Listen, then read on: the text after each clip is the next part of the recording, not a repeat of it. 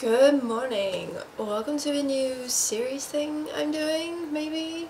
Um, I haven't decided on the name yet, so hopefully by the time I upload this, it'll, you know, be the title of the video.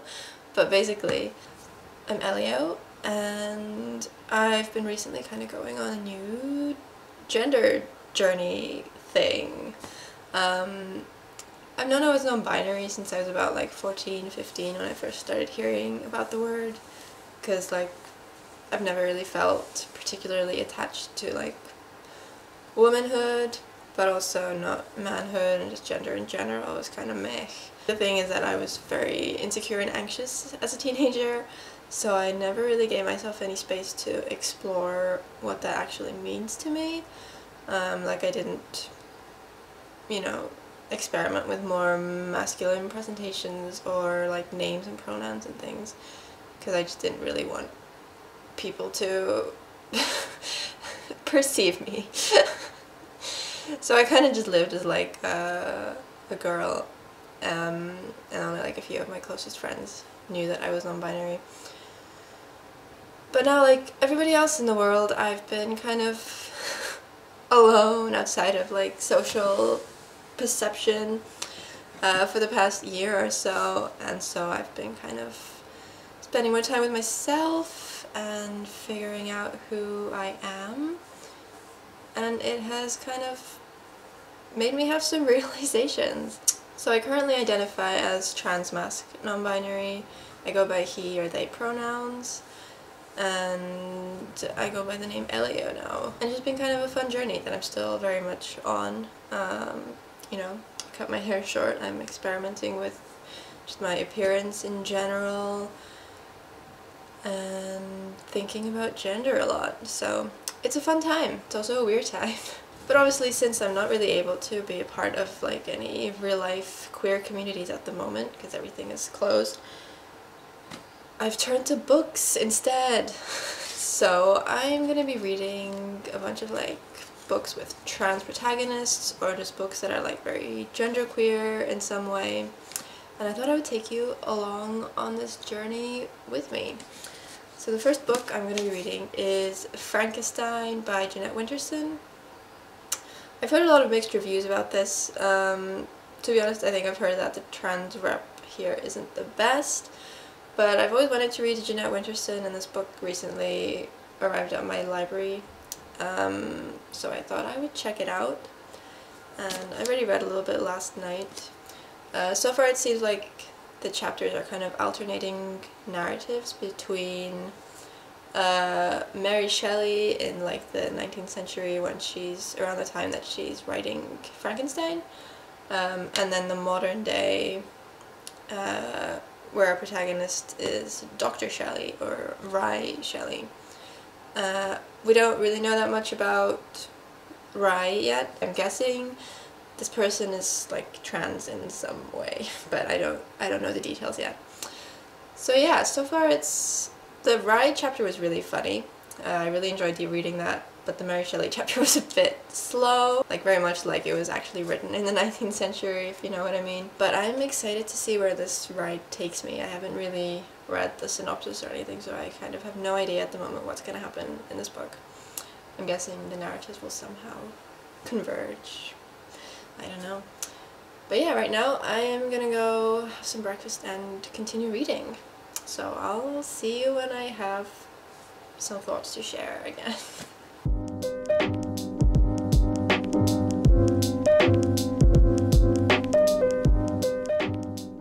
so it's the next day and I'm about halfway through the book now, so I thought I would update you because a lot's happened and I have thoughts. So first of all, for the plot, uh, like I said, Mary Shelley is writing Frankenstein.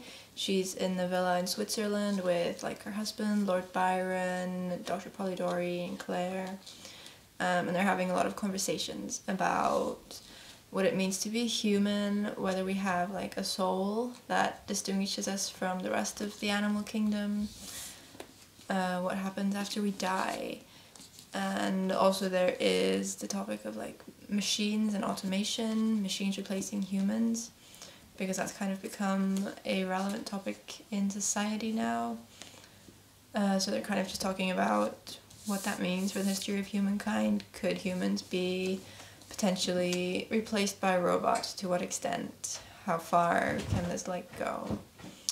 And whether it's a good thing or a bad thing. So yeah, all these conversations are kind of inspiring Mary Shelley's story about, you know, a crazy scientist who decides to play God and create a human, a kind of artificial intelligence in a way.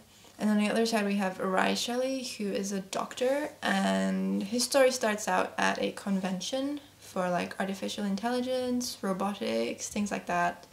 Um, so he's also very kind of involved with these topics regarding the future of humankind related to artificial humans, basically. And he is trans, he describes his gender in a very interesting way. Basically, he's non-binary, but I don't know if Jeanette Winterson is aware of the concept of non-binary. I mean, she's obviously aware of the concept, but I don't know if she knows the terminology. He describes himself as someone who generally like presents as male, um, like he is on testosterone. He's had bottom surgery. No, he's had top surgery. He doesn't want bottom surgery um, because he also does still feel kind of an attachment to his like female side. Uh, he kind of considers himself anatomically female, and he says that he's fully female, part male, and things like that. Which I think is really interesting and in a way is relatable to me as well as like a non-binary transmasculine person. I also like don't consider myself uh, fully man or male or anything. I do feel attached to my like female uh, parts as well, but would still enjoy living in society as a man, like Ry is. So in a lot of ways I can relate to him and it's really cool to read about him. Uh, but also you can kind of tell that he was written by a cis person who doesn't fully understand what she's talking about. Like there is a conversation towards the beginning when I think he first kind of reveals to the audience that he is trans where someone asks him if he's like a man or if he's a woman. Um, and he's like, no, I'm transgender. Which isn't something that trans people would usually answer. Like, transgender isn't.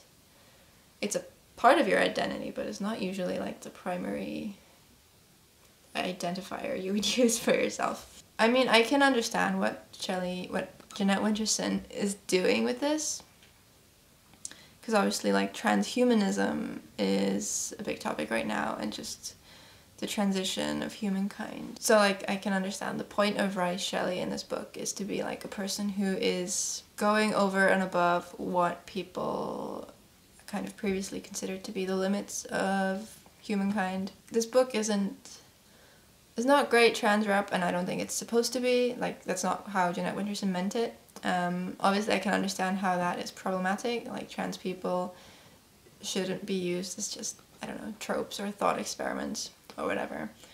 Um, but Jeanette Winterson's whole book is a thought experiment. That's kind of her whole shtick in here. In that sense, I can kind of I can understand what she's doing, and to be honest, I find it interesting as well because I'm also kind of interested in the whole topic of the future of humankind and how far we can go with like transhumanism and I don't know, going over and beyond the limits of biology. I'm one of those people who would very much be interested in finding a way to immortalize the human. So yeah, I understand I understand how it's problematic. But also personally, I'm currently really enjoying it. Also there's a quote in here that I really liked. Did I already mention Victor and Ry are lovers in this book? I was about to mention who Victor actually is. Um, so he's like the Victor Frankenstein parallel character in this in Ry's narrative. Um, he's a mad scientist who's obsessed with transhumanism. They met at like a cryogenetics lab. Is that the right word? Anyway, they met through like this transhumanist scientific community thing.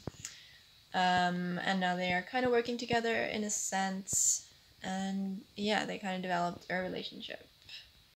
The relationship is a bit sus. Ry knows that Victor is like this super, this egomaniac, crazy person, and doesn't really, tries to stay kind of emotionally distant in that sense because he knows that like they're not gonna have a serious relationship ever. So he's basically just there for, you know, the sex and for the interesting conversations because Victor is a really interesting person to be around and he's really charming and stuff. But yeah, Victor does seem kind of like he's very fascinated in Ry because he's trans, and that kind of.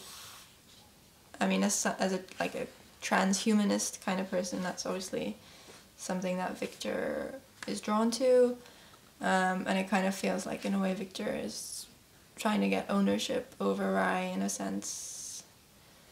So it's not really the healthiest relationship. but anyway, uh, in the middle of a sex scene, Victor says, Why are you so easy in your body? And Ry answers, Because it really is my body. I had it made for me. And I just really like that. But yeah, basically, I am really enjoying the read at the moment, and I'm excited to get back into it. Woo. Also, I got a really cool delivery yesterday. My friend bought me this. It's a pin in like trans colors, and it's based on an Estonian saying uh, don't get flies into my head basically which means like don't lie to me don't tell me nonsense and I just think it looks really cute. He's so pretty. I hope this is focusing. That is my update for now. See you later. Hi uh, just a quick update from the evening of the next day. I've been quite busy so I haven't read like too much. I'm like three quarters of the way through now. Um, there have been some twists. There's some kind of fun stuff going on, but there was a, a scene I didn't like. There's like a really sudden kind of rape scene or sexual assault scene. I wasn't de- that detailed. I don't really know how to classify it. But anyway, it was, yeah, sexual violence. It was quite unexpected for me, and it was just treated as something quite casual. That Ry, it, it was at Ry, um, and it was like a, a transphobic kind of attack, and it was just like kind of treated in a very casual way in a sense. Um, and it didn't really have any purpose in the story. At least so far, it doesn't look like it's had any purpose in the story other than to just show how I don't know trans people can experience these things. So yeah, I I didn't really enjoy reading about that. It just kind of reminded me about how scary it would be to kind of enter male spaces if I ever like do kind of reach a point where that would be something I wanted to do or that I could do. Because um most men are scary as fuck. So yeah the, the assault took place in like a men's bathroom at a bar. So yeah that wasn't very fun. But you know I'm gonna gonna finish this soon and I'm gonna wrap this up like tomorrow morning-ish. And then I'll let you know my final thoughts. So, I finished the book. I don't really have anything to say plot-wise because this was not really a plot book. Um, it was more of like a series of vignettes, different little scenes from these characters' lives, from these different narratives, uh, where the topics that I talked about earlier are being discussed and examined. Personally, I enjoy that sort of book. I know it's not for everybody, but the topics were interesting for me and I enjoyed the writing style. I really liked how Jeanette Winterson's writing style changed throughout the narratives. Like in the Mary Shelley narrative, it was very poetic and more introspective and kind of old fashioned. And then the modern day narrative was very kind of snappy and witty.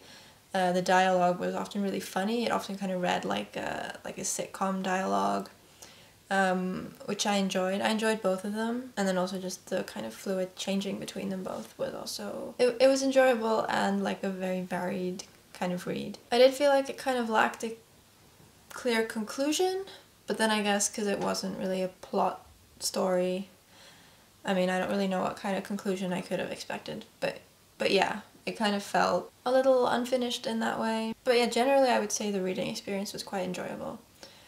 Um, as for the kind of trans aspect of this book, which is, you know, the reason I started kind of reading it, like I said, I did find Ry's character relatable to an extent. Um, and I do think that he was like an interesting addition to the cast of characters, um, especially regarding like the kind of topics that were explored in the book because you know he was kind of an example of the ways in which uh, science has evolved to allow us to kind of not be trapped by our bodies and to kind of create our own reality, our own bodies the way that we want them to be. And like it was viewed in mostly a, a positive way, at least. But generally, it did start to bug me how all the other characters in his narrative were always making like casual transphobic like jokes and things and it wasn't they were it wasn't treated like transphobia or anything. Ry himself mostly just ignored all of these stupid comments that they were making. Um, but yeah it was like kind of just a running joke among all the other characters which was yeah annoying um, and like I said the assault scene really unnecessary it didn't come up in any way in any other part of the book so it's just like I I really don't think that needed to be there and also the relationship between him and Victor. It, wasn't healthy, it wasn't good. Um, because Victor did really just treat him like kind of a specimen. Like, I think he literally said at some point that the reason why he was so drawn to Ry was because he was the unknown. Um, he wanted to explore the unknown. So that was stupid. they did develop feelings for each other by the end. I said earlier that it seemed like they were not getting very emotionally involved, but yeah, obviously, obviously it did eventually. And yeah, it just wasn't very healthy or good or romantic or comfortable to read. Those are, I think, the main things I wanted to address. I think as a final rating, I would give this three stars, and that is Frankissstein by Jeanette Winterson. Just as a teaser, um, the next book I'm going to be reading is an actual Own Voices book which I'm super excited for. Everyone's been talking about it. It's Detransition Baby. I got it in the mail a couple days ago and I think I'm gonna start it tonight. Stay tuned for that. And that is the end of my first episode of whatever the series is gonna be called. Still haven't made up my mind. But yeah, thank you for tuning in and I hope I'll see you next time. Bye!